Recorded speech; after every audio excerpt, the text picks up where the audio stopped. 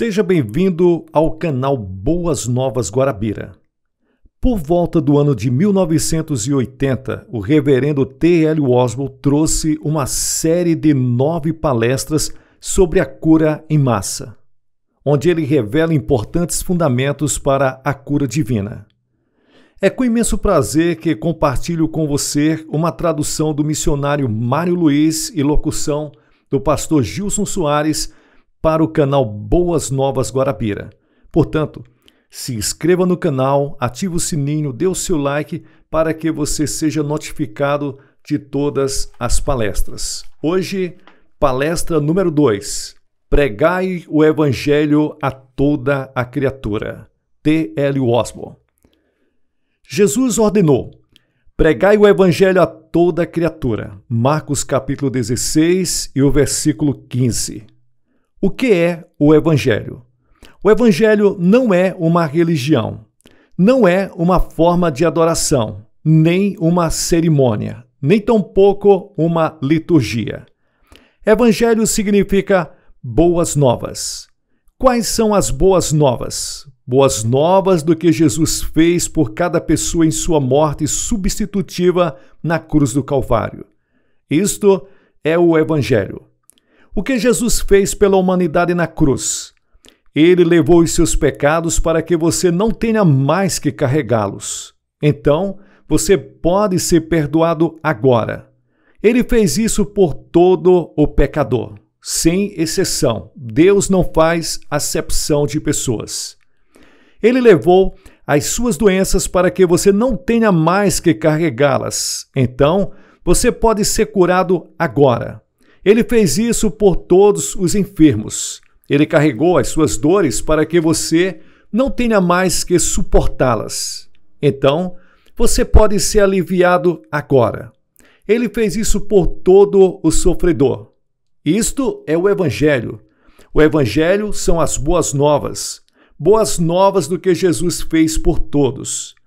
Ele levou os seus pecados e agora ele te dá a sua justiça, como está escrito em 2 Coríntios capítulo 5 e o versículo 21.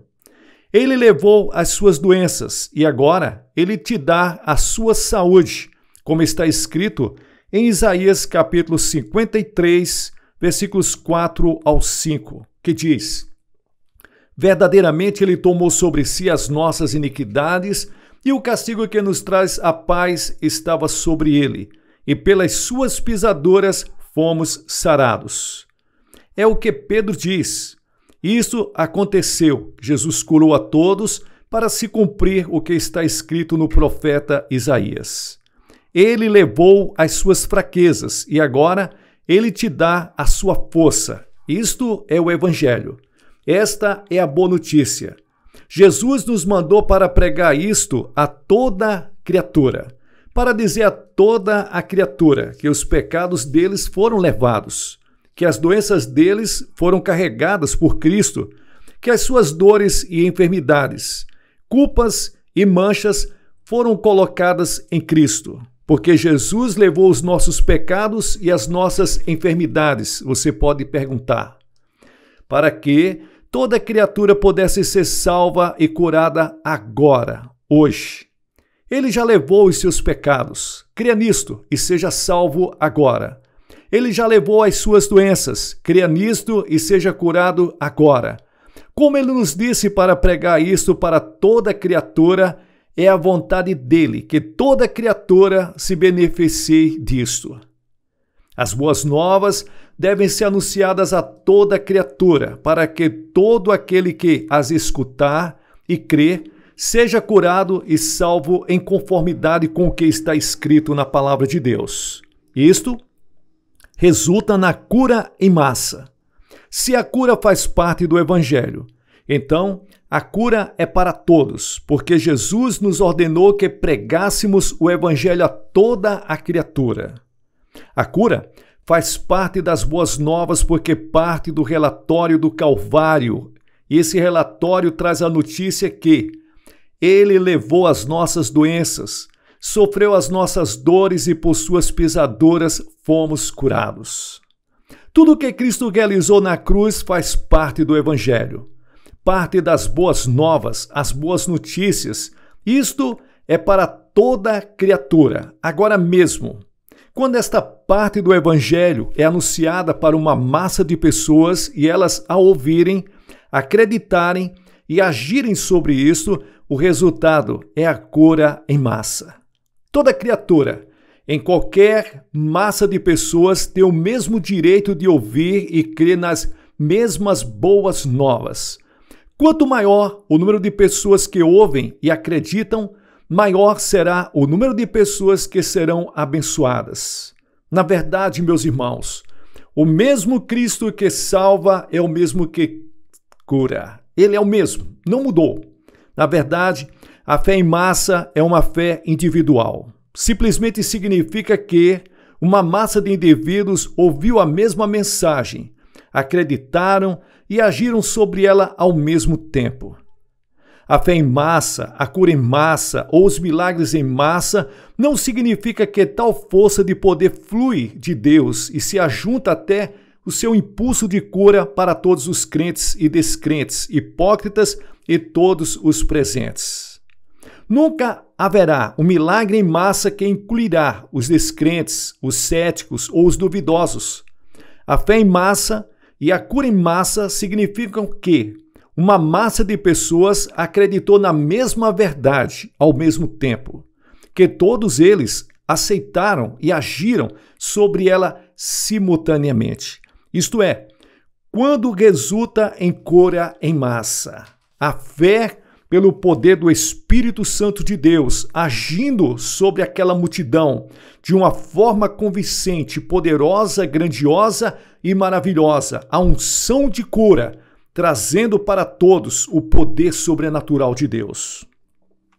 Veja só, nos 27 países ao redor do mundo, eu tive o privilégio de ensinar as simples verdades do Evangelho para as massas, de linha em linha, de sentença após sentença, usando um ou dois intérpretes, às vezes mais. Eu observava os semblantes deles até que as verdades do Evangelho começaram a dominar os seus pensamentos. Por passo a passo, eu tenho pacientemente raciocinado com eles, fora das Escrituras, ou assegurando de que cada palavra de Deus é a verdade. Por todo o tempo em que a palavra está sendo pregada, eu estou consciente de que o fiel Espírito Santo está trabalhando convencendo as pessoas sobre as Escrituras. Uma vez que a palavra de Deus não voltará vazia, mas prosperará para o que ele a enviou. E que a fé vem pelo ouvir a palavra de Deus, mais cedo ou mais tarde, o som da fé é gerado nos corações das pessoas. Há um poder sobre a palavra de Deus que os homens não podem resistir satisfaz a imensa fome da humanidade em qualquer lugar do mundo. Há algo nisso que os muçulmanos não podem resistir. O adorador pagão é varrido pelos seus conceitos. O budista, o hindu, todos eles encontram no evangelho vivo tudo o que as suas almas mais almejam. A fome da alma é suprida e Deus entra com a providência de uma forma miraculosa. Temos que nos lembrar que o homem foi criado para a imagem de Deus. O homem foi feito para ter comunhão com Deus. Ele não consegue encontrar paz a não ser com Deus. Ele anseia por Deus, embora ele não perceba que é isto o que ele está almejando. O vácuo, o vazio em sua alma, só é preenchido pelo conhecimento de Deus através de Jesus Cristo. Este conhecimento vem pela palavra de Deus e a fé vem pelo ouvir e ouvir pela palavra de Deus. Em qualquer momento que a palavra for pregada para qualquer um que der atenção, o Espírito Santo os convencerá de sua verdade e a fé será inevitavelmente gerada pela palavra de Deus. Como eu assistia para as multidões de pessoas fascinadas pelo Evangelho, eu via todas as maravilhas acontecendo diante dos meus olhos, enquanto aquela massa de pessoas encontravam o caminho de volta ao Criador, onde reinam a paz e a satisfação. Oh, que maravilha assistir a fé aumentar em uma massa de pessoas. Em dezenas de milhares de casos, aconteceu como a experiência de Paulo em Listra, onde ele pregou o evangelho. Um homem aleijado ouviu falar Paulo, que fixando nele os olhos e vendo que tinha fé para ser curado, disse em alta voz: Levanta direito sobre os teus pés. E ele saltou e andou. Atos capítulo 14, versículos 7 ao 10.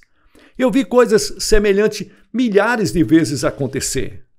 Na África Central, enquanto eu estava anunciando pacientemente os fatos do Evangelho do nosso Senhor e Salvador Jesus Cristo sobre a salvação e sobre a cura, eu sabia que Cristo estava trabalhando nas multidões que tinham se ajuntado diante de mim no antigo polo. De repente, uma mulher cega começou a gritar: Eu posso ver, eu posso ver. Ela foi instantaneamente curada de cegueira total.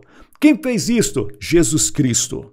Uma massa de milagres veio após. Eu quase perdi o controle das multidões quando as pessoas chegavam até Deus e foram curadas de suas doenças mais de 15 pessoas aleijadas foram instantaneamente curadas naquela noite, além de vários outros curados de cegueira, surdez, câncer, tuberculose, tumores e outras enfermidades. É como a Bíblia diz: o cego vê, o coxo anda, o surdo ouve e o mudo fala.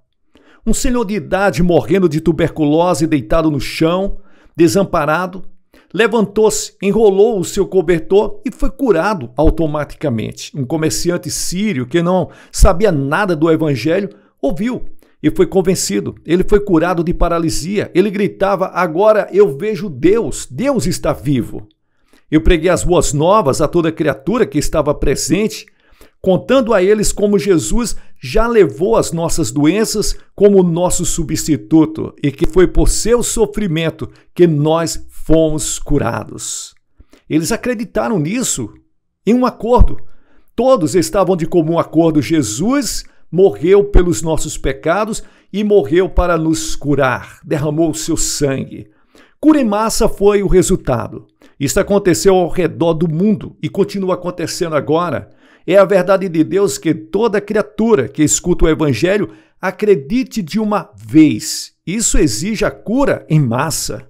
Multidões de multidões estão sofrendo. Toda criatura que escuta o Evangelho tem o mesmo direito de acreditar. Na verdade, é esperado que toda criatura acredite para a medida em que são curados. Quando toda criatura em uma massa de pessoas acreditam que Ele mesmo levou as nossas enfermidades e carregou as nossas doenças e que por suas pisaduras nós somos curados, e eles agem sobre isto, ao mesmo tempo, meus irmãos, o resultado é a cura em massa. Nada mais do que a cura em massa pode agradar a Deus quanto uma massa de pessoas que precisam de cura escutar o Evangelho. Qualquer outro método de ministração de cura a uma massa de pessoas vai requerer que alguns deles esperem para receber o que a Bíblia diz que é deles, que já foi conquistado por Cristo na cruz do Calvário. E isso a Bíblia diz que é para ser recebido agora. A única forma de toda criatura que estiver doente agradar a Deus e acreditar no Evangelho para a medida que são curados é quando cada um deles forem curados de uma vez. Isso demanda a cura em massa. Milhões de pessoas estão sofrendo e o poder de Deus está aí para agir sobre todos eles. Independentemente do número de pessoas presentes, a Bíblia diz toda criatura tem o direito de declarar o que ele precisa para Cristo e esperar recebê-lo à medida em que escuta as boas novas. O Evangelho, escreva isto, é para todos. A cura faz parte do Evangelho. Portanto, a cura é para todos. É para você neste exato momento, independentemente de onde você esteja ou onde você se encontra. Que Deus abençoe vocês. Na próxima palestra, nós vamos falar sobre o Evangelho é o poder de Deus. Pessoal, aqui é o pastor Gilson Soares. Para mim é um privilégio muito grande trazer essa série de palestras do reverendo T.L. Osborne, que foi traduzido pelo meu amigo missionário Mário Luiz e eu estou colocando a minha voz na locução. Quero agradecer a todos vocês que têm abençoado o canal, você que se tornou membro. Aí na parte de baixo tem um local, seja membro. Você que tem abençoado através do coraçãozinho, clicando em cima e abençoando. E você que se tornou membro, dizimista, se tornou um patrocinador, saiba que isto é um chamado de Deus para o avanço do Evangelho. Juntos, vamos passar de um milhão de inscritos e vamos avançar em vários países. Que Deus te abençoe, que Deus te guarde, que a sua semente se multiplique de uma forma poderosa. Shalom.